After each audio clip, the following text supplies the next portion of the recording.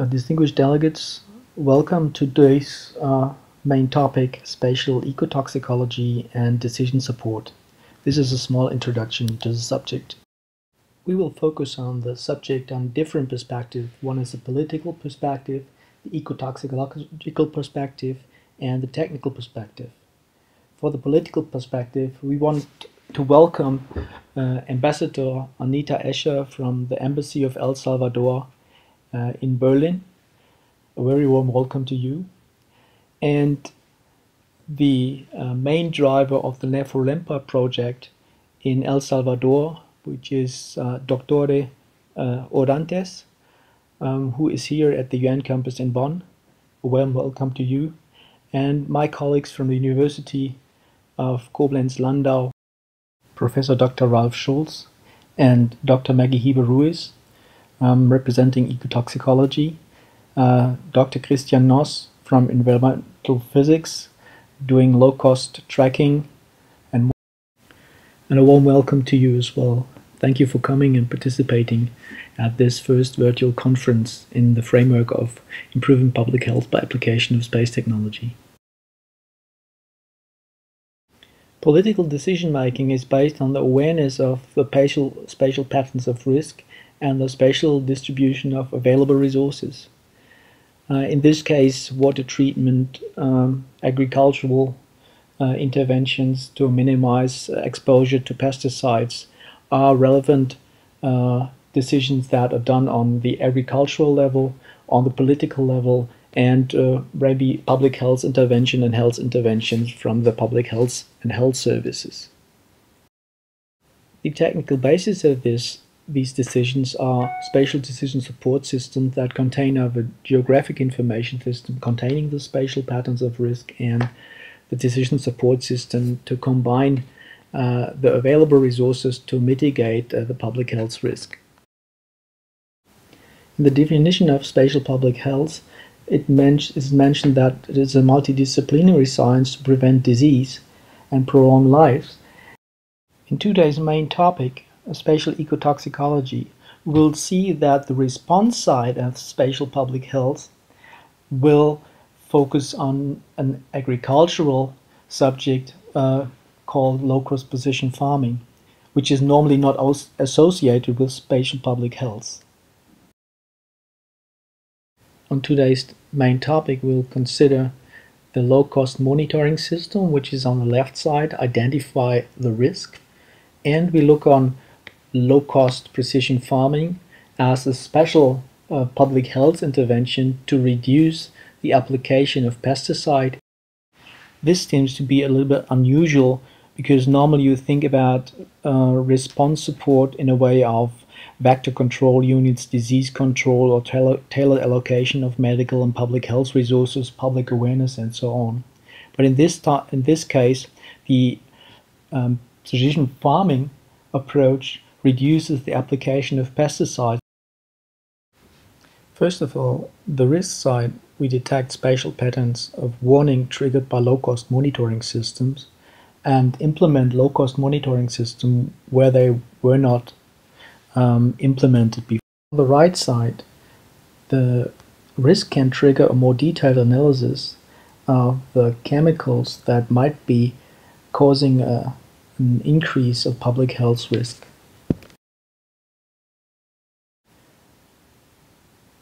Agrochemicals can be applied by precision farming, and this is a well-established technology.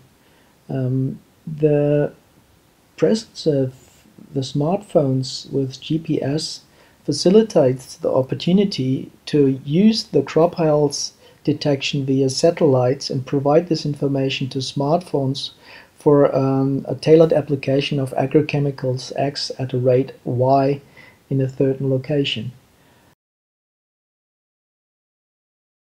Besides the economic benefits of a reduction of agrochemicals, we have um, the main public health objective of food security, minimize exposure to agrochemicals for farm workers and the environment, and the workflow optimization and self-protection of the workers, which is related to public awareness, and maybe optimize spatial patterns of application of agrochemicals in that area where high incidence of chronic kidney diseases are detected.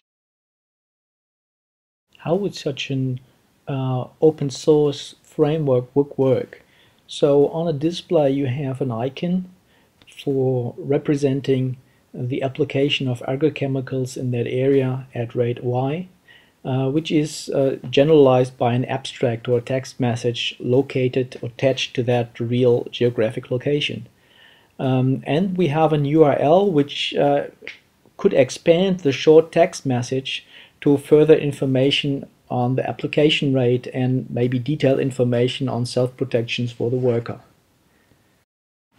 Yesterday we discussed the WHO framework on clean hands uh, save lives and there you have, we have seen the self-assessment framework. Once detect the risk with the self-assessment framework and provides tools for risk mitigation. Here we have the same thing in the digital environment, uh, application rate, detailed information for the application of agrochemicals and maybe further information for risk mitigation, public awareness or self-protection measures for the farm workers. To GPS location, a triple of icon, abstract and URL is attached. This is stored in a database and it's visualized in the smartphone technology. Maybe you heard about it like Wikitude. The URL I'm referring to can be any multimedia content, um, videos, wiki content, G GIS risk and response information, and generalizing this framework can be used for uh, decision making in disaster cases or for uh, risk mitigation strategies uh, from WHO. The generic structure of this system of an open source framework will be discussed on Wednesday.